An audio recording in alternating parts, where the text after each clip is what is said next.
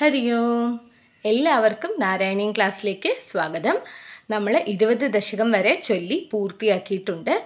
അപ്പോൾ നമ്മൾ ഇന്ന് ഇരുപത്തൊന്നാമത്തെ ദശകമാണ് ചൊല്ലാൻ പോകുന്നത്. ഇരുപത്തൊന്നാമത്തെ ദശകം എന്ന് പറയുന്നത് നവവർഷങ്ങളും സപ്തദ്വീപാദികളുമാണ്. അതാണ് ഇരുപത്തൊന്നാമത്തെ ദശകം. ഈ ഇരുപത്തൊന്നാമത്തെ ദശകത്തിൽ ആകെ പന്ത്രണ്ട് ശ്ലോകങ്ങളാണ് ഉള്ളത്. അതെല്ലാം തന്നെയും വസന്ത തിലകം എന്ന വൃത്തത്തിലുമാണ് ഉള്ളത്.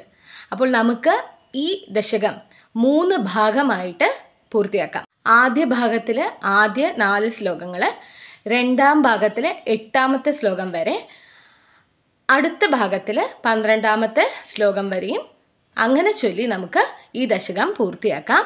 അപ്പോൾ ചൊല്ലിത്തുടങ്ങാണ്. ഓം നമോ ഭഗവതേ വാസുദേവായ ॐ श्रीकृष्णपरमात्मने नमः।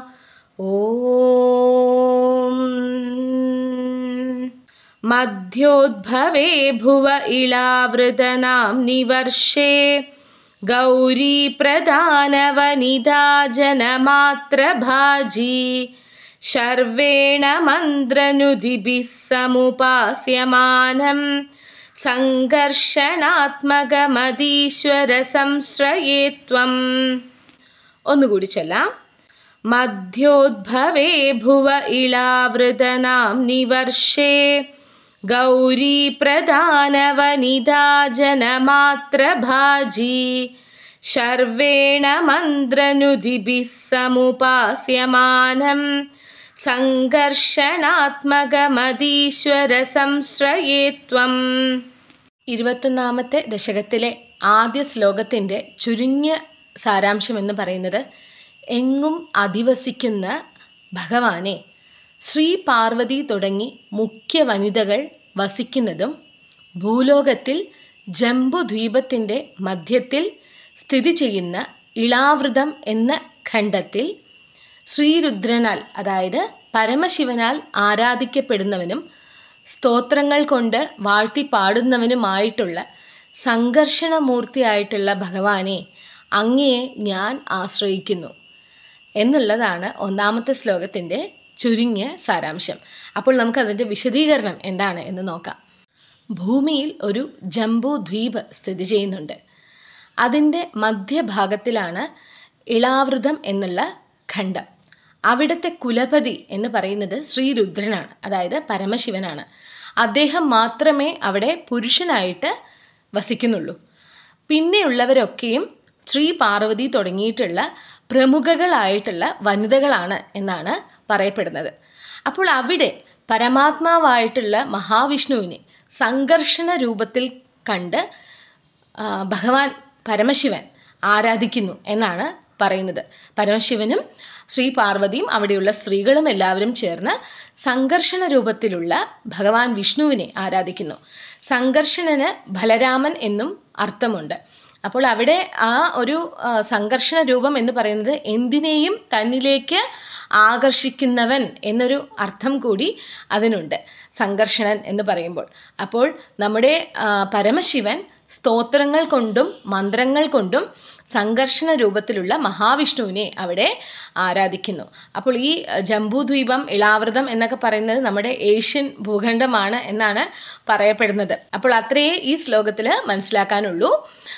നമ്മുടെ ജംബൂദ്വീപത്തിന് നടുവിൽ ഇളാവൃതം എന്നുള്ള ഖണ്ഡത്തിൽ സംഘർഷണ രൂപത്തിലുള്ള ഭഗവാനെ ശ്രീരുദ്രനും ശ്രീ പാർവതി തുടങ്ങി പ്രമുഖകളായിട്ടുള്ള വനിതകളും സ്തോത്രങ്ങളും മന്ത്രങ്ങളും കൊണ്ട് ആരാധിച്ചിരുന്നു. അങ്ങനെയുള്ള ഭഗവാനെ ഞാൻ ആശ്രയിക്കുന്നു എന്ന് ഭട്ടതിരിപ്പാട് ഒന്നാമത്തെ ശ്ലോകത്തിൽ വിവരിക്കുന്നു. ഇനി നമുക്ക് രണ്ടാമത്തെ ശ്ലോകം ചൊല്ലാം. ഭദ്രാശ്വനാമക ഇളാവൃത പൂർവവർഷേ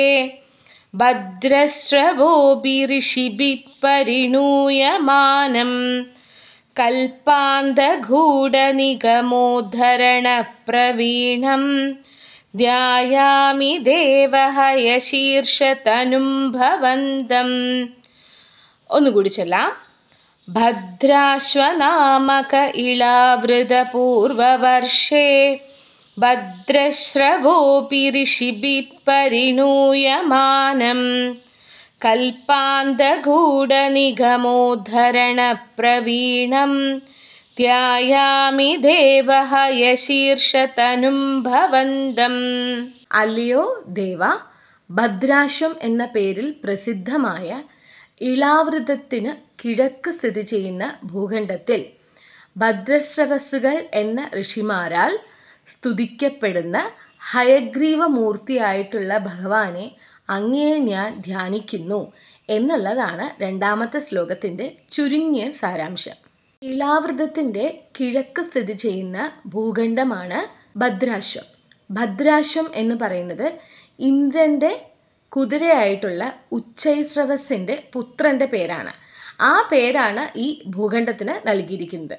അപ്പോൾ അവിടെ ഈ ഭദ്രശ്രവസ്സുകൾ ഹയഗ്രീവമൂർത്തിയെ ആരാധിക്കുന്നു. ഹയഗ്രീവമൂർത്തി എന്ന് പറയുന്നത് അശ്വമുഖത്തോട് കൂടിയതാണ്. അപ്പോൾ ഹയഗ്രീവമൂർത്തിയെ ഇവർ ആരാധിക്കുന്നു. ഈ ഭദ്രശ്രവസ്സുകൾ എന്ന് പറയുന്നത് രജസ്തമോ ഗുണങ്ങൾ ഉള്ളവരാണ്. ഹയഗ്രീവമൂർത്തിയും രജസ്തമോ ഗുണങ്ങൾ ഉള്ളതാണ്. അപ്പോൾ ആരാധിക്കുന്നവർക്കും ആരാധിക്കപ്പെടുന്നവർക്കും ഒരേ ഗുണങ്ങൾ ഉണ്ടാവുമ്പോഴാണ് അത് മനസ്സിനിണങ്ങി നിൽക്കുകയുള്ളൂ എന്നാണ് ഇവിടെ പറയുന്നത്. അതായത് ആദ്യത്തെ ശ്ലോകത്തിൽ നമ്മൾ പറഞ്ഞു രുദ്രൻ അതായത് നമ്മുടെ പരമശിവൻ സംഘർഷണദേവനെ ആരാധിക്കുന്നു എന്നുള്ളത്. അപ്പോൾ സംഘർഷണമൂർത്തിയായിട്ടുള്ള ഭഗവാൻ എന്ന് പറയുന്നത് തമോ ഗുണമുള്ള മൂർത്തിയാണ്. പരമശിവനും തമോ ഗുണമുള്ളതാണ്. അപ്പോൾ അങ്ങനെ സാമ്യമായിട്ടുള്ള ഗുണങ്ങളുള്ള മൂർത്തിയെ ആരാധിക്കുമ്പോഴാണ് അത് മനസ്സിനിണങ്ങി നിൽക്കുള്ളൂ എന്നുള്ളതാണ് പറയുന്നത്. ഈ സംഘർഷണ മൂർത്തിയെ ആരാധിക്കുന്നതിനും ഹയഗ്രീവ മൂർത്തിയെ ആരാധിക്കുന്നതിനുമൊക്കെയുള്ള മന്ത്രങ്ങളുണ്ട്. അതൊക്കെ ഭാഗവതത്തിൽ പറയുന്നതുമുണ്ട്. അങ്ങനെ ഈ ഓരോ നമ്മളിപ്പോൾ ആദ്യം പറഞ്ഞ സംഘർഷണദേവൻ രണ്ടാമത്തെ ശ്ലോകത്തിൽ പറയുന്നത് ഹയഗ്രീവ മൂർത്തി ഇങ്ങനെ ഓരോ മൂർത്തിയെയും ധ്യാനിക്കുന്നതിനും ധ്യാന മന്ത്രങ്ങളുണ്ട്. അത് ഭാഗവതത്തിൽ പറഞ്ഞിട്ടുമുണ്ട്. ഇനി നമുക്ക് മൂന്നാമത്തെ ശ്ലോകം ചൊല്ലാം. ധ്യായാമി ദക്ഷിണഗതേ ഹരിവർഷവർഷേ. പ്രഹ്ലാദമുഖ്യപുരുഷൈ പരിഷേവ്യമാണം. ഉത്തുംഗശാന്തതവളാകൃതിമേഘശുദ്ധജ്ഞാനപ്രദം നരഹരിം ഭഗവൻ ഭവന്തം. ഒന്നുകൂടി ചൊല്ലാം. ധ്യായാമി ദക്ഷിണഗദേ ഹരിവർഷവർഷേ.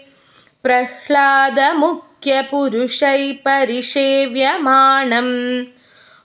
ഉത്തുംഗശാന്തധവളാകൃതിമേഘശുദ്ധജ്ഞാനപ്രദം നരഹരിം ഭഗവൻ ഭവന്തം.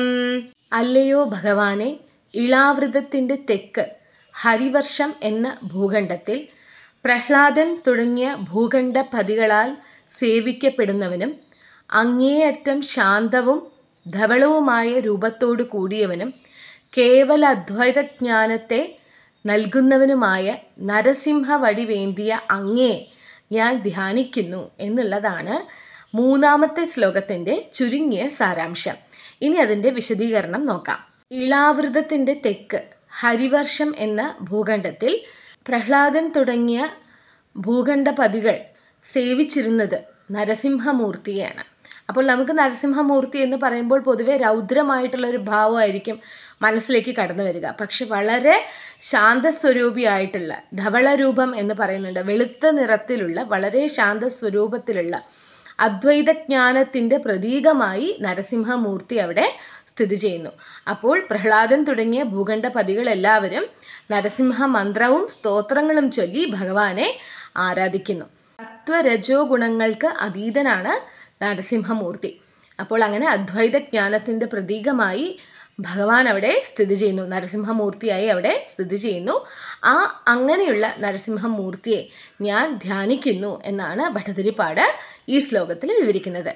ഇനി നമുക്ക് നാലാമത്തെ ശ്ലോകം ചൊല്ലാം.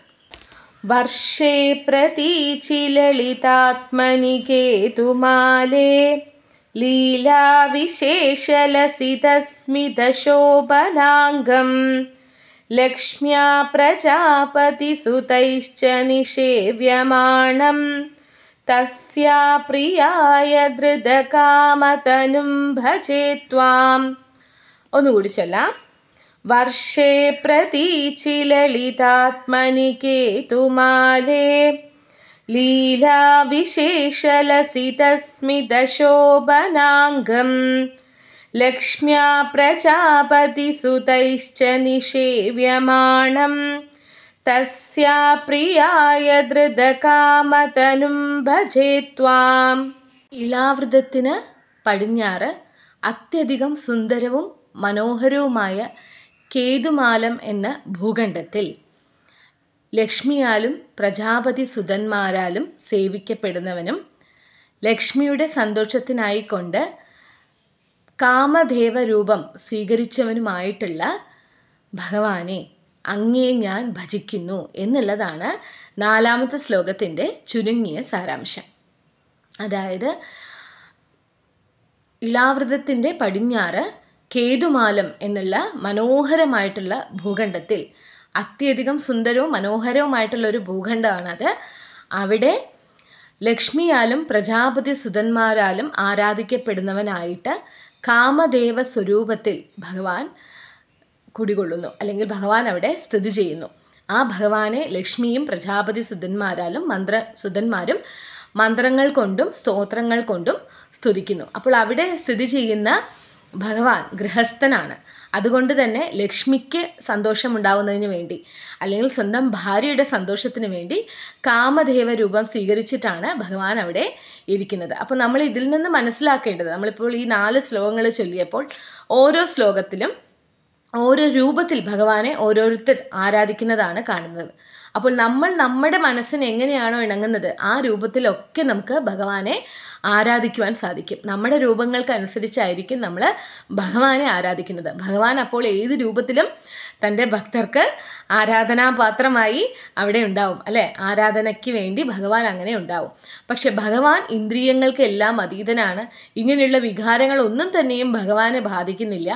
അപ്പോൾ ലക്ഷ്മി ദേവിക്ക് വേണ്ടി കാമദേവ കാമദേവ സ്വരൂപനായി ഭഗവാൻ അങ്ങനെ കുടികൊള്ളുന്നു. അങ്ങനെയുള്ള ഭഗവാനെ ഞാൻ ഭജിക്കുന്നു എന്നുള്ളതാണ് ഈ ശ്ലോകത്തിൽ വിവരിക്കുന്നത്. അപ്പോൾ നമ്മളത് അത്രേ മനസ്സിലാക്കേണ്ടതായിട്ടുള്ളൂ.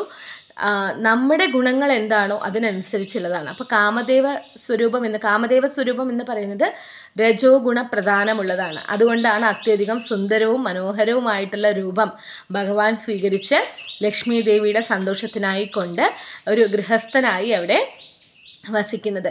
അപ്പോൾ അതാണ് നാലാമത്തെ ശ്ലോകത്തിലെ സാരാംശം. അപ്പോൾ നമുക്കിനി ഇന്ന് ചൊല്ലിയ എല്ലാ ശ്ലോകങ്ങളും ഒന്നുകൂടി ചൊല്ലാം. त्योद्भवे भुव इलावृतनाम्नि वर्षे गौरीप्रदानवनिदाजनमात्रभाजी शर्वेण मन्द्रनुदिभिः समुपास्यमानं। सङ्कर्षणात्मकमदीश्वरसंश्रये त्वं। भद्राश्वनामक इळावृतपूर्ववर्षे। भद्रश्रवो बि ऋषिभि परिणूयमानं कल्पान्दगूढनिगमोद्धरणप्रवीणं ध्यायामि देवहयशीर्षतनुं हयशीर्षतनुं ध्यायामि दक्षिणगदे हरिवर्षवर्षे प्रह्लादमुख्यपुरुषै परिषेव्यमाणम् उत् उत्तुङ्गशान्तधवलाकृतिमेघशुद्धज्ञानप्रदं नरहरिं भगवन् भवन्तम् वर्षे प्रतीचिललितात्मनि केतुमाले लीलाविशेषलसितस्मितशोभनाङ्गं लक्ष्म्या प्रजापतिसुतैश्च തസ്യാ പ്രിയായ ധൃതകാമതനും ഭജേ സർവത്ര ഗോവിന്ദനാമ സങ്കീർത്തനം ഗോവിന്ദ ഗോവിന്ദ അപ്പോൾ എല്ലാവരും തുടർന്നും ഇതുപോലെ വീഡിയോസൊക്കെ കാണണം. എന്തെങ്കിലും മാറ്റങ്ങളോ അല്ലെങ്കിൽ എന്തെങ്കിലും എന്റെ ഭാഗത്തു നിന്ന് ശരിയാക്കാനുണ്ടെങ്കിൽ അത് തീർച്ചയായിട്ടും നിങ്ങൾക്ക് കമന്റുകളിലൂടെ പറയാം. എന്നാൽ കഴിയുന്നതൊക്കെയും ഞാൻ വീഡിയോയിലെ മാറ്റങ്ങൾ വരുത്തുന്നതായിരിക്കും. പിന്നെ ഇത് ഉപകാരപ്രദമാവും എന്ന് തോന്നുന്നവർക്ക് ഇത് ഷെയർ ചെയ്ത് കൊടുക്കുക.